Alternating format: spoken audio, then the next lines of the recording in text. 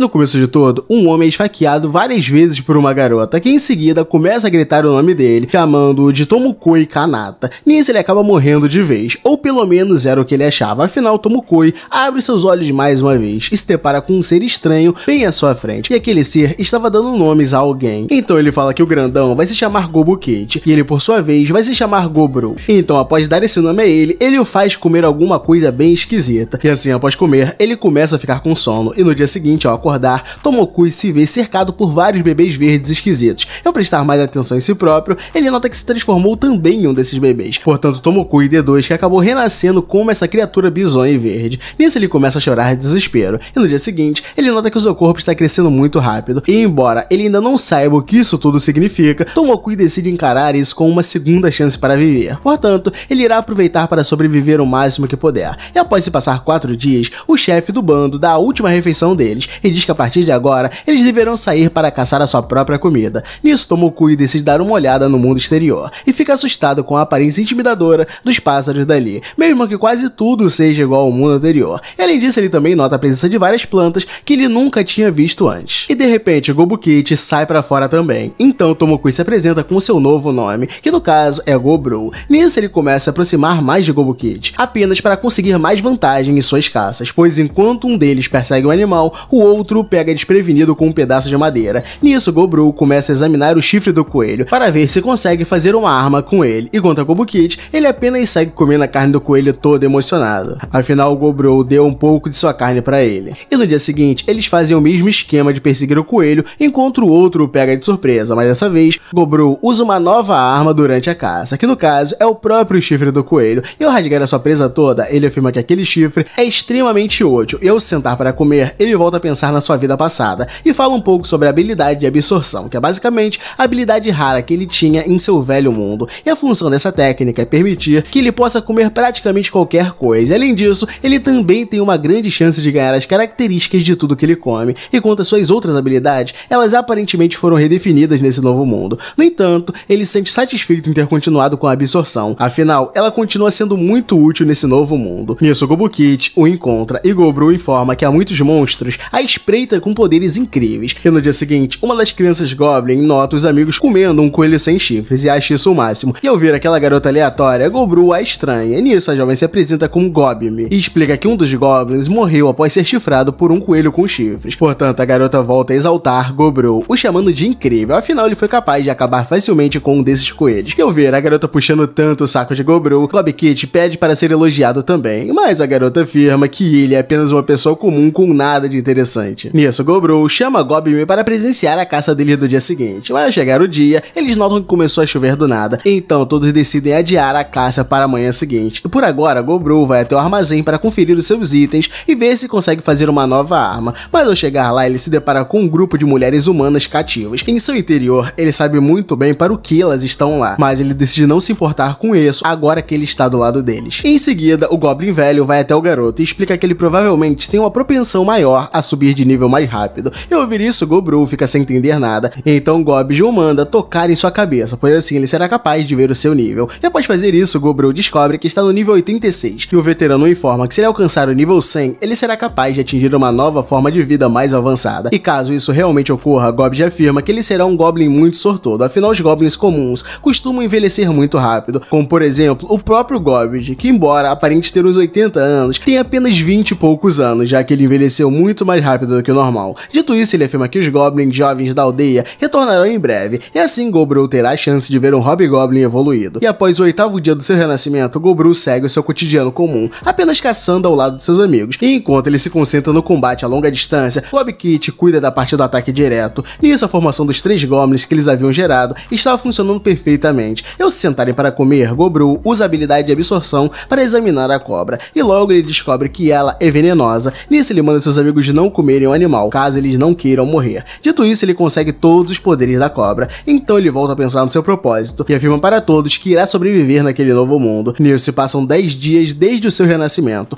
e Gobru informa que passou esse dia como qualquer outro, apenas preparando o seu equipamento e partindo para a caça, como de costume. E já no 12 segundo dia, ele e seus amigos resolveram examinar mais a fundo as cavernas que tem por ali, apenas por curiosidade. Mas ao fazerem isso, eles acabaram se dando mal, pois eles foram confrontados intensamente por vários monstros da caverna, mas no fim eles conseguiram sair juntos e com vida da caverna, após enfrentarem os monstros como equipe, com Gob Kid utilizando o escudo, enquanto Gobru ia matando todos os morcegos. Então ele pega um pouco dos monstros para eles comerem e consegue obter um novo conjunto de habilidades. Enquanto eles comem os monstros que eles mataram, outros goblins ficam olhando de longe com fome e com inveja. Então na madrugada do 12 segundo dia, eles se juntam para atacar Gobru enquanto ele dorme, mas por conta das suas habilidades e da sua percepção, ele consegue acordar e bater em todos eles que estavam ali. E um deles fica ferido no peito e acaba morrendo. Ele percebe que ele não conseguiu controlar o seu veneno enquanto atacava, e todos os outros ficam com medo, mas Gob me acorda e coloca um deles para dormir com raiva do que eles fizeram. E no 13 terceiro dia, Gobru e sua equipe seguem caçando. Então eles encontram um Or, que tem um pouco de dificuldade, mas eles conseguem quebrar a mão e a perna dele, com Gobru finalizando ele de maneira brutal. E após a caça, ele continua preocupado com o ataque que aconteceu na noite anterior. E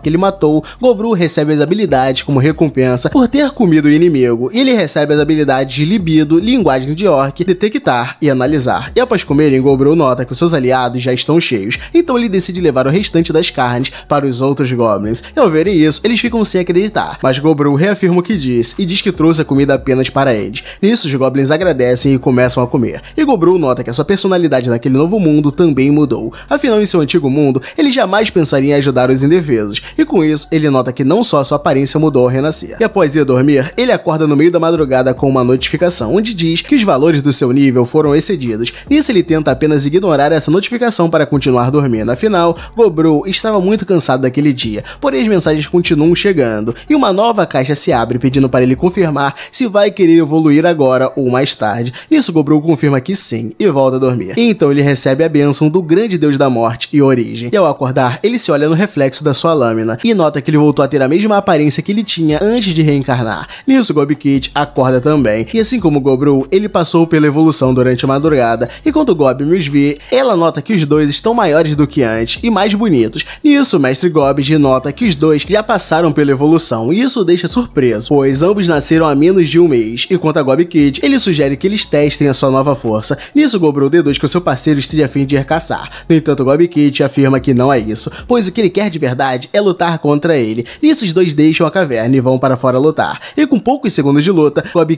acaba no chão. Então, Gobru pergunta se seu amigo está bem. Ele apenas responde que Gobru é muito forte, porém ele diz que em questões apenas de força, Gob Kid ainda é melhor. Nisso, os dois decidem parar a luta, ao perceberem que há um problema chegando, e Gobru pede para Gobim ir atrás da besta que eles criaram outro dia. Nisso, um grupo de lobos começam a caçar um orc, e ao ver a força absurda daquelas feras, Gobru afirma que esses monstros são perfeitos para eles testarem a sua nova força. Enquanto isso, Gobim dispara uma flecha contra o líder dos lobos, chamando a atenção da matilha inteira. Então, Gobru e Gob Kid partem para cima dos lobos, determinados a atacá-los com todas as suas forças, e ao acabarem aos poucos com a matilha, os lobos começam a se debater, pois sem a orientação do seu mestre, eles são eliminados muito mais facilmente. Eu sobrar apenas um único lobo, ele era o líder, ainda com aquela flecha envenenada no seu corpo. Então ele se coloca à frente de Gobru, demonstrando estar com muito ódio do que aconteceu. Porém, o lobo cai morto no chão logo em seguida. Afinal, aquela flecha com veneno não ia deixar ele continuar vivo por muito tempo. E quanto a Gobru, ele deduz que esse último lobo era o líder da matilha, então ele se alimenta do animal e com isso recebe as skills de caça selvagem, ocultar armadura e ordem de grupo. Feito isso, Gobru joga o corpo dos lobos para os outros goblins, para que assim eles também possam se alimentar. Mas ao invés de aceitarem isso de bom grado, um dos goblins se ajoelha e implora para que Gobru os ensine a matar também. Então ele decide ensinar para eles tudo o que sabe, mas além de ajudar com essa questão, ele também se dispõe a ensinar a eles a fazerem armas, caso não saibam. Nisso todos o agradecem e Gobru pede para eles levantarem as suas cabeças imediatamente, afinal todos eles fazem parte da mesma equipe de goblins. E ao ouvirem isso, todos os goblins vão à loucura e novamente o veneram. Nisso Gobru tem a impressão de que pôde ver os próximos passos com clareza. E então ele associa esse sentimento com a nova habilidade que aprendeu de ordem de grupo. Nisso Gobru se vê apenas comendo cada vez mais e ajudando seus camaradas a prosperarem também. Então no 17º dia, Gobru fala que eles estão treinando há 4 dias, mas ainda tem muita coisa a aprender. Então ele entra na caverna e bate de frente com Gobim, que aparentemente mudou bastante. E no 17º dia, Gobish recebe uma terrível notícia sobre as mulheres humanas terem sido queimadas vivas. Nisso, ele, junto a Gobro, fazem um memorial para homenageá-las. E passado alguns dias, Gobro começa a treinar os goblins da sua geração. E durante esse percurso, ele também aproveita para comer alguns inimigos que ele julga promissores, para assim aprender novas novas habilidades. E no meio do treino, eles são surpreendidos por outros goblins que se assemelham a doentes. Nisso, Goblin informa que eles são seus batedores. A grosso modo, eles podem dizer que eles são os pais da geração de Gobrow. E após isso, um grupo de garotas humanas são levadas até eles. E então Gobrow explica que os genes dos goblins são muito fortes por conta disso, quando eles acasalam com outras espécies, o seu DNA acaba tendo prioridade na hora de gerar os filhos. E embora Gobrow veja sentido nos goblins quererem preservar a sua espécie, ele acha errado fazer isso. Então ele pede para poder cuidar dessas humanas no lugar deles. Mas ao ouvir isso, um dos goblins se nega a considerar essa responsabilidade a ele. Afinal, Gobrow é praticamente um recém-nascido para ele. E no meio dessa confusão, duas garotas goblins vão até eles, que afirmam que não pretendem acabar entrando no meio dessa briga interna. Nisso, Gobrow pergunta quem elas são, e o Goblin ao lado apresenta elas como Rob Sato e Rob Sei. Nisso, uma das garotas propõe a eles que eles façam um duelo com os líderes de cada geração, e o vencedor poderá decidir o que a aldeia deverá fazer a partir de agora. Porém, elas proíbem de usarem armas durante a luta. Então o Goblin aceita na hora o desafio e afirma que Gobrow de fato merece aprender uma lição. E Gobrow, por sua vez, diz não ter nenhuma objeção quanto à regra dela. Dito isso, eles começam a luta, porém o Goblin é rapidamente imobilizado. Nisso, Goblin pergunta aonde ele estava escondendo aquelas teias, e Gobrow explica que suas teias não podem contar como armas, afinal elas são produzidas através de seu corpo. E ao notar a utilidade desse ataque, as garotas se surpreendem com ele, e Gobrow olha para todos dizendo ser o líder oficial daquela aldeia, afinal ele venceu o combate, como combinado, então ele pergunta se alguém tem alguma objeção a fazer diante desse fato. Porém, todos aceitam a situação, e após isso, ele vai até as garotas e diz que já mandou todos deixarem ela em paz. Além disso, ele promete que um dia irá levá-las de volta à cidade humana. Nisso, uma das garotas pergunta o que elas devem fazer para retribuir ele, e ele deixa claro que realmente as salvou com interesse. No caso, ele quer que elas passem o conhecimento humano delas para ele, e durante a conversa ele descobre que elas faziam parte de um grupo de comerciantes, e ao passarem pelo país dos goblins, elas acabaram sendo atacadas por seus conterrâneos, sendo elas as únicas sobreviventes do ataque. E no dia seguinte, ele volta até o local onde ele deixou, para entregar o café da manhã delas. E lá ele nota as garotas sorrindo e tentando levar a situação de um jeito mais positivo, ainda que a situação não seja tão favorável. E para ajudá-las quanto a isso, Gobrow prepara uma boa refeição para elas, para curar o estado mental delas e dar às garotas um motivo genuíno para sorrir. Nisso ele explica sobre as garotas e diz que a mais sossegada delas é uma avaliadora e ferreira. Já as irmãs, elas são formadas por uma cozinheira e alfaiate, e quanto a garota de óculos, ela diz ser uma alquimista. E por fim, a garota corajosa dos cabelos vermelhos transparece ser uma guerreira em começo de carreira. E após isso, Gobrow volta a treinar os goblins, e ao invés de ensiná-los a caçar, ele opta por se concentrar nos exercícios em grupo. E passado alguns dias desse treino, ele e Gob Kid fazem um duelo simulado apenas para treinar. E durante a noite desse mesmo dia, um grupo de goblins vai até as cinco garotas humanas, enquanto elas dormem. Então Gobrow nota uma movimentação estranha do local e pune os goblins. E em seguida, ele lembra que já havia dito para não encostarem as mãos nas garotas, e muito menos o cegonho. E ao ouvir isso, um dos goblins explica que um garoto novo como Gobrow realmente não deve saber o quão doce é o sabor de uma mulher humana. Nisso, Gobrow chuta e vai até as garotas para acalmá-las. Então os outros goblins vão até o quarto para ver o que está acontecendo. Nisso, Gobrow pede para Gob Kit levar os goblins no chão para outro lugar. E quanto a Gobme, ele a encarrega de acordar e reunir todos os outros goblins, pois eles precisam ver o que acontece com quem desrespeita as suas ordens. Então ele leva todos os goblins infratores para fora e começa a surrá-los até a mão dizer chega. Nisso ele olha para os outros goblins com um sorriso de cínico no rosto, dando a entender que isso também pode acontecer com eles caso eles desrespeitem as regras da vila. E após matar todos os goblins infratores, Gobrow deixou o Hobbiken pendurado de cabeça para baixo, para que assim ele possa ter a morte mais lenta e dolorosa de todas. E no dia seguinte, Gobrow volta a casa e com muita dificuldade, ele e seus amigos conseguem acabar com o cavalo tricórnio. Nisso, Gobrow aprende a habilidade escamação, relinche do cavalo escamado e várias outras habilidades úteis, como por exemplo a estocada tripla, que o permite causar três impactos em seu inimigo, mesmo atacando uma única vez. Ao cair a noite, a garota de cabelos vermelhos decide ir dormir com Gobrow, pois ainda estava traumatizada com o que aconteceu na noite passada. Nisso, ele a permite dormir por ali, mas ao acordar, Gobrow nota que Gobme também se juntou a eles, dormindo em seu braço. Ao voltarem para o treino, ele descobre que Gobui acabou evoluindo para um Hobgoblin, assim como ele. E quanto aos treinos, Gobrow nota que está tudo indo muito bem, pois todos os goblins estão cuidando de suas respectivas áreas com muita competência. Então Gobrow decide deixar o treino do dia na mão dos capitães. E enquanto isso, Gobrow adentra a floresta a fundo para devorar o máximo de presas que conseguir. E ao avistar mais um cavalo tricórnio, ele decide arriscar e ativa a fase 1 da sua magia de conclusão, chamada Gaeg Derg. Ao atingir o alvo com esse poder, Gobrow acaba rapidamente com o cavalo. Nisso ele sente que passou a ficar um tanto arrogante após usar a magia de ataque pela primeira vez. Como consequência de toda sua autoconfiança, ele decidiu ir mais para o norte da floresta, porém Gobrow nota que acabou indo muito longe. E ao olhar para o lado, ele vê uma poça de sangue no chão e logo se lembra de um conselho de Gobbid, onde ele alertava as crianças a nunca entrarem nas florestas do norte, pois no fundo delas vive uma enorme criatura chamada de Urso Vermelho. Nisso, Gobrou nota que ele realmente está nas profundezas do norte da floresta, assim como Gobbid lhe disse, e de repente o tal urso aparece e fica cara a cara com Gobrou. Nisso, ele afirma que qualquer pessoa com o um mínimo de consciência já teria tentado correr para longe daquela situação, e ao invés de seguir o seu instinto de correr, Gobrou decidiu ficar ali e bolar alguma estratégia para derrubar aquela criatura. Afinal, seu objetivo é matar e se alimentar do urso vermelho. Nisso, ele volta a usar a magia Gaeg Derg na intenção de derrubar o inimigo com apenas um golpe. Enquanto isso, seus amigos notam a demora dele para voltar para casa. Porém, uma das garotas deduz que está tudo bem, afinal, Gobru é um cara muito forte. Nisso, ele continua uma luta acirrada contra o urso, que por sua vez sacrifica uma de suas patas para se defender da magia de Gobru. E após isso,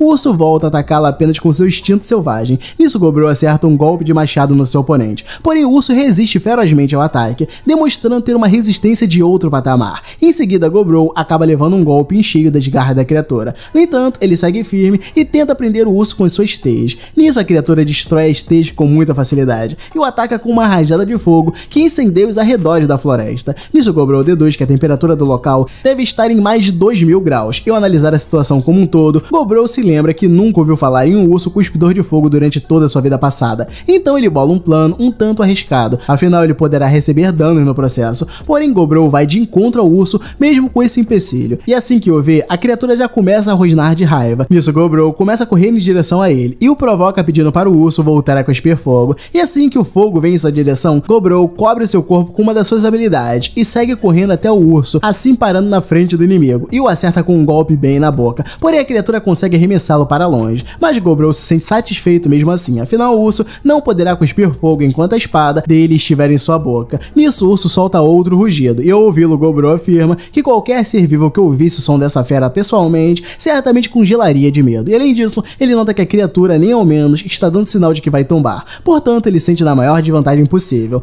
Mas ainda assim, Gobro demonstra empolgação com aquela luta, pois isso só irá deixar a carne do osso ainda mais saborosa. Dito isso, Gobro volta a investir ataques ao inimigo, e no fim, ele acaba vencendo a luta, porém perde o seu braço no processo. E ao comer a carne do urso vermelho, ele recebe mais algumas habilidades. No entanto, Gobro acaba desmaiando ao perder muito sangue, e em seguida ele cumpre os requisitos para evoluir para Ogro, a espécie rara. Nisso, Gobro usa o restante da sua consciência que lhe sobrou e aperta na opção Sim para evoluir. Então, ao acordar, ele volta a comer a carne do urso vermelho e conquista as habilidades restantes. Nisso, Gobro tem a ideia de pegar a pele do urso também, mas ao notar o tamanho de sua faca, ele percebe que tem algo errado. Nisso, Gobro analisa seu corpo novamente e se lembra que agora ele é um ogro. E quanto aos outros goblins, eles não reconhecem Gobro e com isso deduzem que a aldeia está sendo atacada por um ogro desconhecido. E então todos clamam pela ajuda de Gobro e pedem para que ele apareça e os salve. Nisso, Goblin percebe que aquele ogro é ele e dá um chute na canela dele, mas acaba caindo cheia de dor. Afinal, o cara deve ser duro igual uma pedra. Então ela pergunta o que aconteceu com o braço dele. Isso enquanto coloca ele no chão de joelho para se desculpar com ela. Então ele conta para todos que acabou lutando e derrotando o urso vermelho. E todos ficam impressionados, afinal, ele matou o urso vermelho que é capaz de matar e comer até mesmo ogros. E Gobbs fica surpreso, pois com um mês de vida ele derrotou o Senhor da Floresta e até mesmo evoluiu para um ogro. E ele fala que Goblin seguiu repreendendo ele por um tempo. E então vieram as perguntas de todos. E a única coisa que interessa para ele é que ele conseguiu lutar, evoluir e voltar para casa, para esse lugar onde a sua segunda vida começou. E após conseguir sair do campo de vista dos seus colegas, Gobro vai até o quarto pegar outra roupa para se vestir. Nisso as humanas se assustam com ele, mas logo o reconhecem e ficam mais tranquilas quando ele demonstra suas habilidades que elas já sabiam que ele tem. No entanto, ele nota que por algum motivo Goblin fica beliscando a sua perna a todo momento, mas decide ignorar isso por hora. Então uma das humanas nota a arma dele já muito desgastada e decide ajudá-lo quanto a isso. E além do mais, ela afirma que fez uma faca com pedra espiritual para ele e pede para ele ir conferir depois. Nisso, Gobro agradece com um carinho na cabeça e ele fala que gosta de ver as reações delas quando elas são acariciadas por ele, mas por algum motivo os beliscões de Goblin aumentam ainda mais após ele fazer isso. E ao seguir para a humana alquimista, ele pergunta sobre o recipiente que tem em mãos e ela afirma que aquilo é veneno que ela planejava usar para defesa própria. No entanto, ao perceber que há goblins bons como Gobro, ela entendeu que já não faria sentido tentar usar aquele veneno na comida dele. Nisso, ele a pega no colo e ambos riem juntos da situação, mas em contrapartida, Goblin continua irritada em ver ele tendo tanta intimidade com as humanas. E no dia seguinte, Gobro comenta que é incapaz de lutar com as outras Goblins sem machucá-los, afinal, o seu golpe mais suave já é capaz de quase matá-los.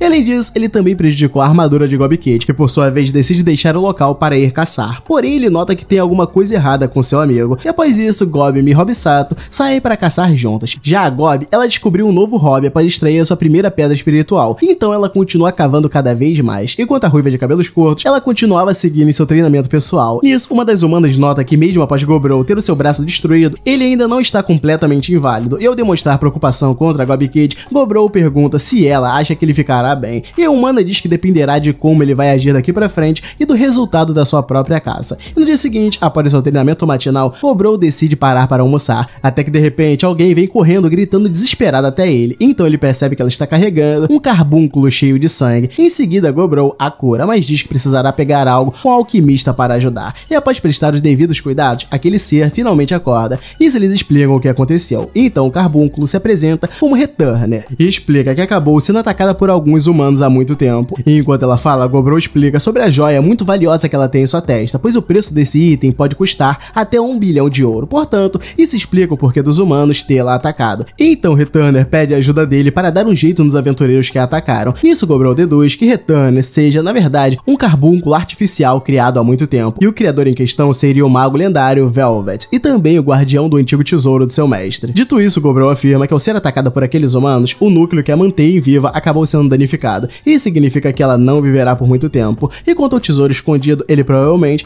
guarda os itens lendários que Velvet passou a vida colecionando. Nisso, Returner explica que o seu mestre não gostava de humanos, e por isso ele optou por deixar o seu legado para todos eles, ao invés de fazê-los cair na mão dos humanos. Então, Gobrou afirma que eles irão atrás desse tesouro e pede para Smith lhe dar a faca espiritual que ela havia feito. E logo ao pedir isso, ele deixa claro que não pretende matar os humanos citados por Returner, pois a sua ideia inicial é expulsá-los dali, apenas na base da argumentação. Mas caso eles insistam, aí Gobrou precisará apelar para a forma mais difícil de resolver o problema. Dito isso, eles passam pelo buraco que Gob abriu acidentalmente e seguem em direção ao tesouro escondido de Velvet. Mas no caminho, Gobrou pede para que todos se escondam, enquanto ele tenta negociar com os humanos sozinho. Porém, um dos humanos tenta atacá-lo ao se aproximar com a habilidade de ocultação. Então Gobrou se defende do ataque e explica aos humanos que aquela região pertence a outro povo, portanto eles não podem sair por aí matando e roubando deliberadamente. E para piorar as coisas, Gobrou afirma que eles nem ao menos reconhecem que estão fazendo coisas erradas.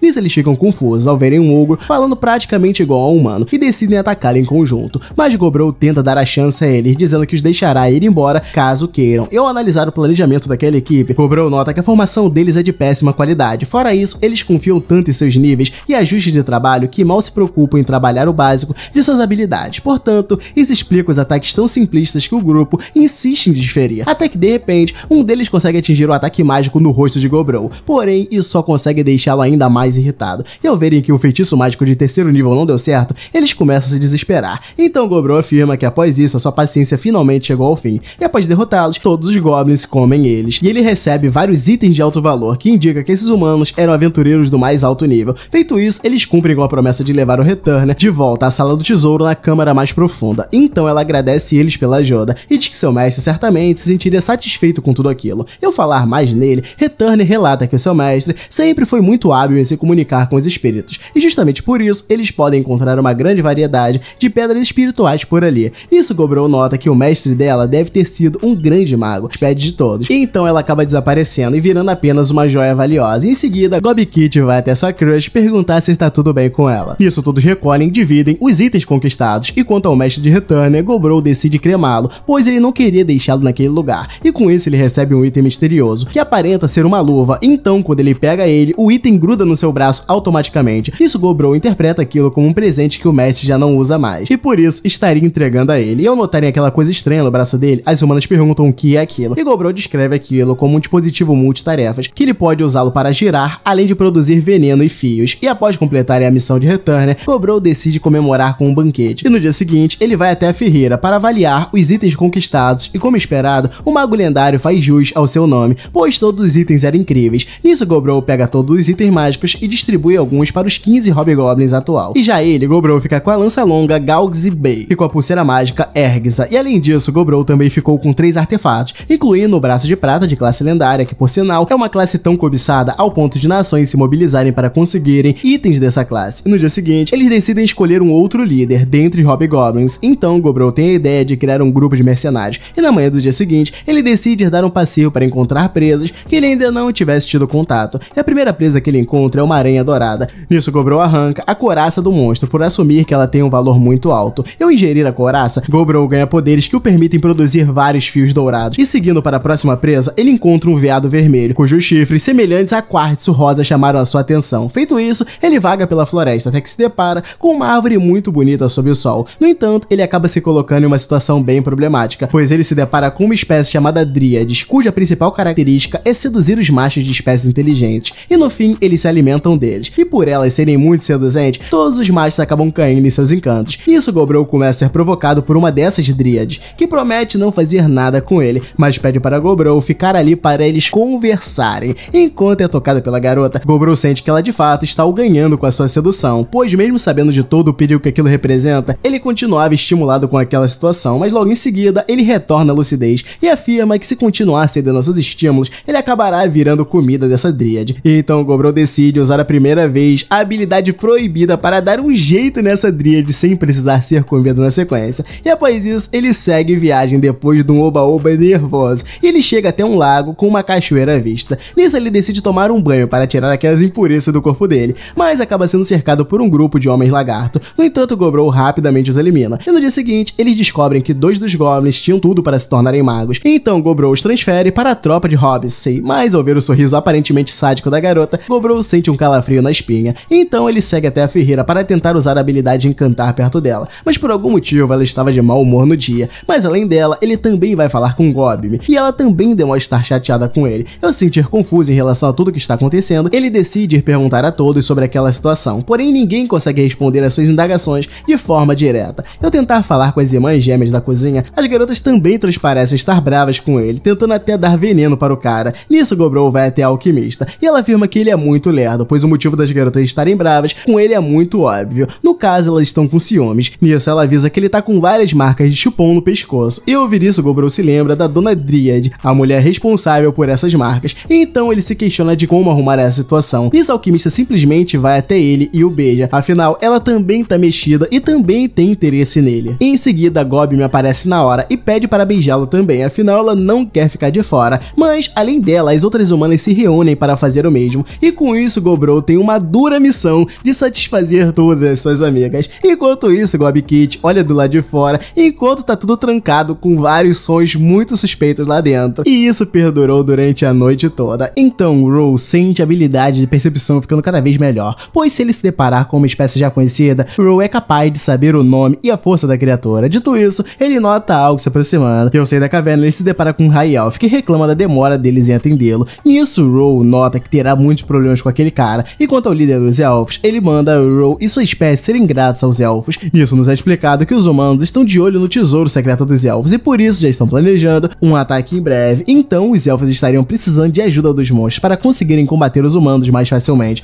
Eu vi sobre a recompensa que eles ganharão. O ancião afirma que eles estão propondo uma recompensa irrecusável, mas Row recusa na hora e diz que se eles quiserem pedir algo ao seu povo, eles primeiramente precisam tratá-lo com mais respeito. Em seguida, ele pega o elfo líder pelo pescoço e diz para ele mandar os seus homens abaixarem seus arcos. Então o elfo manda todos os arqueiros deixarem suas posições. Nisso, Goborou explica que está recusando a oferta dos elfos por não ter a menor vontade de ajudá-los. No entanto, ele deixa claro que se os humanos ameaçarem a sua floresta, ele lutará com o maior prazer. Dito isso, ele acerta sua Galgus bem no chão, fazendo com que lanças vermelhas sejam disparadas continuamente em um raio de 100 metros. Nisso, os elfos ficam em choque e decidem meter o pé o quanto antes. E no dia seguinte, Goborou vai à caça dos slimes cinza nas profundezas da floresta, e no fim ele consegue caçar 20 slimes, e ao comer o núcleo dos slimes, ele aprende a habilidade tolerância ataque físico, criador de dublê próprio e reconstrução por reposição de fluidos. Nisso, Row faz um mini dublê com seu sangue, utilizando uma das habilidades aprendidas agora há pouco. Então ele nota que é possível dividir a sua visão com a de seu clone. E no dia seguinte, Row aproveita para fazer algo diferente e faz alguns vestidos de festa para Gob e as outras garotas, utilizando o tecido imbuído com o sangue do seu dublê. Portanto, esses vestidos poderão ser usados para alertá-lo em caso de emergência. E já no outro dia, ele usa seu dublê de sangue para vigiar os arredores da floresta. Então, Row descobre que os elfos ainda não desistiram de encher o saco dele. Nisso, Row consegue prendê-los facilmente com suas habilidades de teia de aranha. Em seguida, ele os interroga, perguntando por que deles terem voltado em sua caverna. Nisso, o elfo líder explica que o comportamento bárbaro que Row teve no outro dia manchou seu orgulho. Portanto, ele assumiu que deveria matá-lo para fazê-lo pagar pela sua insolência. Nisso, as outras elfas se desculpam por aquilo e afirmam que tentaram impedir o seu líder de voltar até a caverna, mas ele acabou por não ouvi-las. Nisso, Row afirma que o líder dele já está morto, porém ele propõe algo para salvar a vida dos outros elfos elfos. No caso, eles deverão lutar contra seu povo, e se vencerem, Ro permitirá que eles continuem vivos. E ao fim do duelo, dos 23 elfos que participaram do combate, seis deles acabaram perdendo, e por coincidência, todos eram homens, pois o próprio Ro manipulou a formação dos adversários, justamente porque ele não queria matar garotas bonitas. E após comer os homens, o Ro vai até o grupo das elfas que sobreviveram e pede para ela lhe entregar seu equipamento e itens mágicos, pois de agora em diante elas serão suas prisioneiras. E ouvir isso, uma das elfas se indigna, pois acreditava que elas seriam libertas. Nisso, Ro as lembra que elas estavam ali para retirar vidas, portanto, elas não poderão esperar nenhuma compaixão dele. E quanto ao ancião, ele começa a se empolgar em ver garotas tão bonitas, porém Ro manda não encostar em nenhuma delas. Nisso, o ancião afirma que seguirá as ordens dele, pois além de Ro ser o líder da aldeia, ele também deve ser um bom exemplo para os mais jovens. No entanto, ele diz que sente vontade de balançar os seus quadris de vez em quando. Nisso, Ro volta ao assunto principal e começa a pensar em como irá executar o líder dos elfos, mas no fim, ele apenas o esmaga com as suas mãos. E no dia seguinte, Gob Kid alcança o nível 100 enquanto caça, e ao retornar para a caverna, todos notam a evolução dele. Então, Ro explica que a evolução do seu parceiro segue uma variante diferente da dele, pois a pele de Gob Kid foi queimada pela bênção do semideus do fogo, e além disso, a textura da pele dele passa a ser tão forte como o aço, por conta dele ter recebido a bênção do semideus da guerra. E ao se ver forte à altura de Ro, Gob Kid o chama para um duelo, e no fim, ele acaba derrotado, pois Gob Ro continua sendo mais forte quando o assunto é técnica de combate. No entanto, ele admite que Gob Kid é um excelente adversário, então agora ele pode voltar a ser o seu rival. E após a luta, um ser misterioso vai até Ro e oferece a ele um novo poder. Nisso ele acorda em sua cama sem entender o que aconteceu. E no dia seguinte, Gobui o chama para ele resolver uma emergência. Então eles seguem até a sala da humana alquimista, onde ele encontra quatro novos Hobgoblins. Nisso, a alquimista informa que já finalizou os testes de aptidão, e um dos Hobgoblins apresentou um grande potencial mágico, e além dele, um outro Hobgoblin tem o potencial para se tornar um clérigo. Nisso, ele se apresenta como Gobid e afirma que dará o seu melhor para curar o maior número de feridos possível. Nisso, ele demonstra todo o seu carinho chamando Ro de Oni-san. Então, Ro nota que Robsey também evoluiu nessa manhã, e no caso dela, Robsey se tornou da parte da linhagem de Lorde, sendo uma meia Lorde de categoria feiticeira. Mas ao ver as marcas no braço dela, eles notam que há algo errado nessa evolução, afinal os Lords não deveriam ter tais marcas.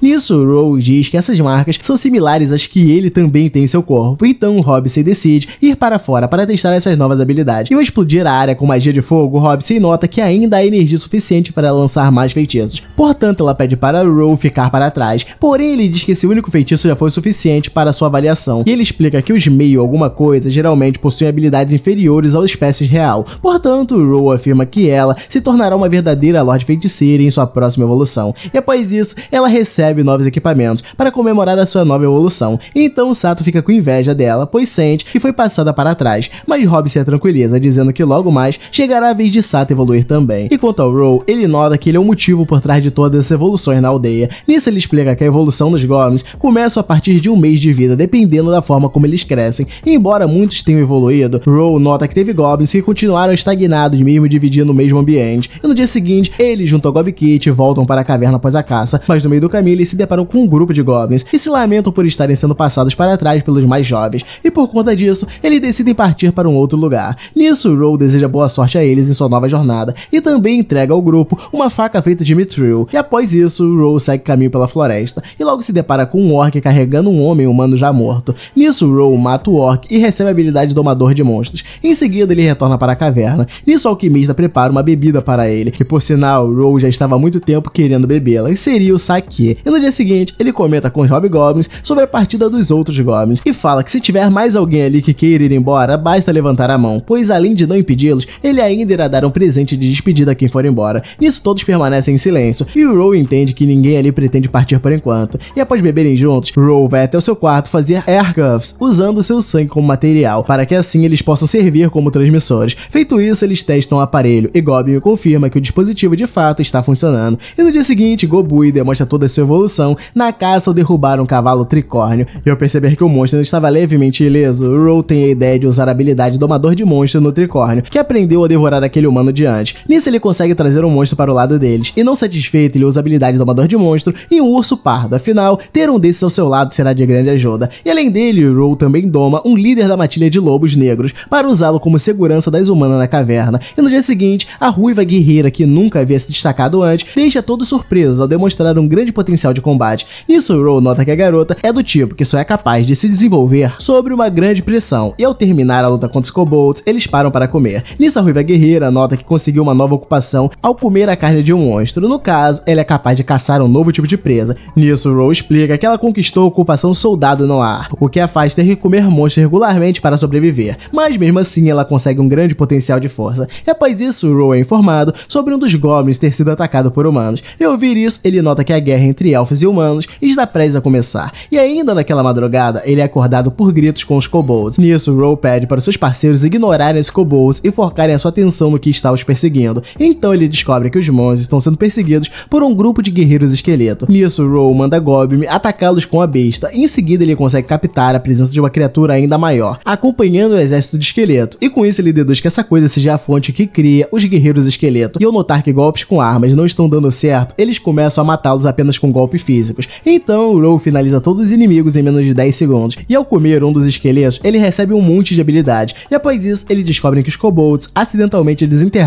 o tesouro de Velvet. E como consequência disso, o guardião do tesouro despertou e passou a persegui-los, não parando de ir atrás dos kobolds com seu exército esqueleto de guerreiros. E como forma de tentarem escapar do inimigo, os kobolds resolveram invadir a caverna onde Ro mora. Nisso, kobolds agradecem a ajuda dele. Então, Ro se dispõe a cuidar dos kobolds feridos antes deles conversarem. E Ro percebe que mesmo antes dele perceber, ele acabou juntando uma grande multidão sobre suas asas. E no final da tarde do dia 61, Ro está caçando junto ao Gobkate quando eles notam uma movimentação suspeita. Então acontece que haviam 12 soldados humanos aos arredores. Contudo, Ro mantém a calma e dá as ordens de que eles estão mudando de rumo. Então Ro utiliza suas habilidades de teia e descobre que os humanos estão tentando sequestrar a filha do chefe élfico. E ele fala que os humanos estão preparando uma emboscada enquanto ela se dirige para o festival e que existe um traidor entre os elfos. E logo após anoitecer, a emboscada acontece enquanto os elfos estão trazendo a sua princesa em uma carruagem. E além disso, os soldados são brutais executando friamente os elfos. E quando Gobekate ia intervir, Ro lhe para e o massacre segue acontecendo. Entretanto, quando um soldado encosta na princesa, Ro então não pensa duas vezes e parte para a ação. Então, num piscar de olhos, ele mobiliza todos os soldados e salva a princesa, ainda comentando com Gobekate que a raça dela é bem leve. Já na sua caverna, um humano acabou abrindo o bico por livre e espontânea pressão, e tudo indica que o exército humano irá realizar uma grande mudança dentro de 20 dias. E logo após isso, Ro claramente pegou as habilidades do cara, fazendo a sua refeição diária. E um tempo depois, a princesa élfica acorda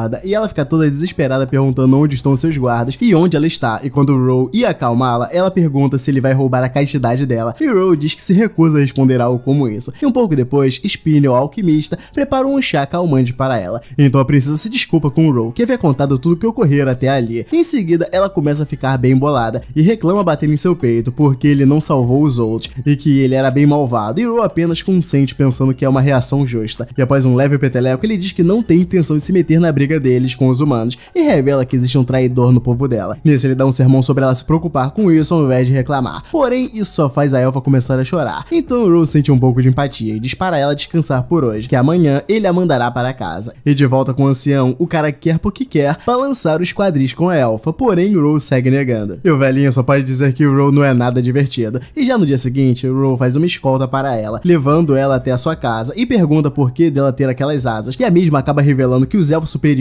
as possuem e escondem dentro de seus corpos, e que não é para serem mostrados, mas que ela ainda está aprendendo a usá-los. Então, após três horas de caminhada, eles adentram o território dos elfos, onde são recebidos calorosamente por flechas apontadas. Mas Roya se prepara estrategicamente, então a princesa entra na frente, dizendo que eles a salvaram. E logo depois de receberem a autorização, a princesa se reencontra com seu pai, e ele também recebe Ro e Gobkate. Nisso, a princesa se desculpa com seu pai, e o mesmo diz que está tudo bem, e ele fica feliz que ela esteja a salvo, e logo em seguida dirige a palavra a Ro, o agradecendo imensamente por protegê-la. Em seguida, Ro é bem direto, e diz que não salvou a garota por boa vontade, e o chefe elfo já diz para trazerem algo. Então o chefe revela uma relíquia dos deuses perdidos, chamada Fallenot, um tesouro de sua família, e sua filha fica preocupada com ele dando aquilo, mas ele fala que sua filha voltou inteira, e isso não tem preço. E apesar disso, Ro o agradece e pede desculpas por lhe testar, e irá recompensar com informações valiosas sobre o exército humano. E assim eles fecham o negócio com o chefe elfo trocando toneladas de equipamento de Mithril por facas de pedra espiritual e pás de itens mágicos, assim formando um acordo comercial. E ao se despedir, o rei faz uma pergunta e diz que espera que ele não se importe, e pergunta sobre um grupo de 20 batedores elfos que estão desaparecidos há 20 dias, e pergunta se ele ouviu algo, e claro que de antemão Ro nega fervorosamente, até porque eles estão como seus escravos e escravos da noite também. Então na despedida eles ganham presente de medicamentos e licor, então Ro emocionado diz que se eles precisarem de ajuda é só ligar e ainda ganha um desconto de amigo. E já em sua caverna, Ro fica encantado encantado com o sabor do licor e diz que ele vai ser grande amigo do chefe Alfo. Em uma manhã, Ro acorda Gob, mas percebe que ela evoluiu de classe para uma variante Dunphy no meio da noite. Ela ganhou um belo de um buff, e juntamente com mais oito novos Hobgoblin em seu grupo. E Goblin ganhou a bênção do deus do gelo e pode manipular o gelo como bem entender. E além disso, ela tem que usar óculos, pois ao tirar, ela tem o poder dos olhos malignos que pode encantar os inimigos para lutarem entre si, assim compensando a fraqueza habitual dela à luz solar, sendo compensada pela bênção que recebeu. E Ro diz que a aparência dela ficou mais familiar para ele por algum motivo. E Goblin pergunta a ele se tem algo errado, e ele diz de forma direta que não, e que está apenas impressionado com a aparência dela. E ela fica toda bobinha. E quanto a Gob, ele evoluiu para uma meia senhora da Terra, e basicamente ela virou uma domadora de terra, pique avatar, só que nerfada. Ela pode manipular o solo, tornar o seu corpo mais forte e usar magia de relâmpago para detectar gemas. E já Rob Sato evoluiu para uma meio lorde de sangue, podendo controlar o sangue e transformá-lo em todo tipo de arma. Então Ro nota que as tatuagens de magia são diferentes em cada evolução, mas todos têm tatuagens semelhantes a dele. E ele diz que espera descobrir sobre isso ao decorrer do tempo. E o ancião já vai lá dar nome a todos. E Robsei vira Spellsei, e Goblin vira Dunph, Rob Sato vira Blood Sato, e Gob vira Earth. E já Gob Kit vira Og Kit, e Gobs vira Hobbit. E nosso Ro, que era Gobro, vira Ogaro agora. Então nos é mostrado um ranking do quão poderosas são as raças, e Gobim é a mais poderosa dentre todos. Nisso, Ogaro diz que conforme o tempo for passando, os elfos irão lhe pedir ajuda em sua guerra, e quanto mais ativos eles estiverem, a posição em sua tática de guerra será melhor. Em seguida, ele entrega brincos de comunicação para todos os demais. Entretanto, as elfas se recusam a colocar, pois é um tabu para elfos colocar qualquer coisa que prejudique as suas orelhas. Então, o Garou, como um bom samaritano, passou um bom tempo com as elfas tirando toda essa pretensão do corpo delas. Enquanto isso, os mais fortes assistiam ele em suas peripécias do lado de fora. E já no dia seguinte, as elfas têm brincos, e junto com os kobolds, o Garou os treinou diariamente. E para finalizar com chave de ouro, o Garou invocou alguns esqueletos com a habilidade que ganhou o outro dia para servir de sparring para eles praticarem. Então, o Ro revela que quanto mais armadura um esqueleto tiver, maior é o nível dele. E claramente, os elfos perderam contra o esqueleto, mas serviu para eles ganharem XP. E os que perderam aceitaram numa boa. E Ro percebeu que foi contribuindo com uma confiança de modo natural entre eles. E já no dia seguinte, ao usar menos mana, ele consegue criar zumbis e outros mortos-vivos. Então Ro tenta comer um fantasma para saber qual é o gosto, mas não obteve sucesso e descobriu que os esqueletos e monstros assim desse gênero são purificados rapidamente pela luz do sol. Nisso ele revela que está se dedicando a treinar os elfos e os kobolds, e que sua vila está com mais de 100 membros, e os kobolds estão em uma posição bem baixa e que será complicado para eles. Contudo, Ro pensa que o jeito deles se destacarem é trabalhando duro para superarem os seus limites. Enquanto isso, uma Hobgoblin tenta comer um zumbi, e a fome deve estar mesmo difícil. Então Ro faz uma visita até onde os kobolds vivem, pegando tudo que eles têm e deixando Uff acabar com a vila dos caras sob ordem dele, para garantir que assim não surjam mais esqueletos. Em seguida, ele já coloca eles para fazerem caça em grupo, para se